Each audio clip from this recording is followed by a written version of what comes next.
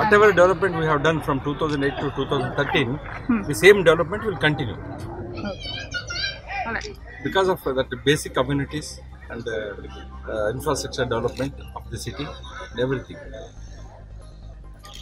See, I, I re- request Somashekhar Reddy, first let him answer why did not contest 2013 election and why is interested in contesting 2018 elections.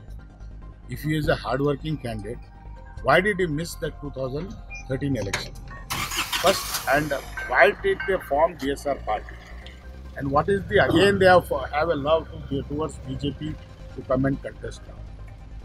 There are a lot of controversy things where Mr. BJP President Amit Shah says he doesn't know, uh, he's, he, he doesn't know Janardhan Reddy or even the BJP doesn't uh, want him. And how come again he gives tickets to the same uh, family? the development of this place and uh, our uh, target is to win.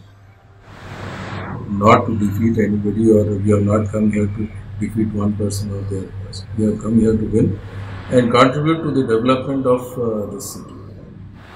Be it water uh, uh, issues be it you know, employment issues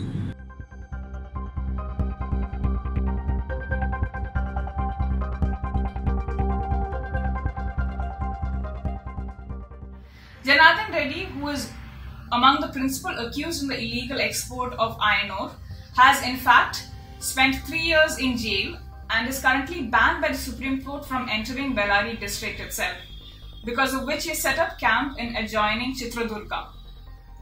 Facing off against Somashekhar Reddy will be the incumbent Congress MLA Anil Lad, himself a mining baron and who has also been arrested by the CBI for another case involving the illegal export of iron ore.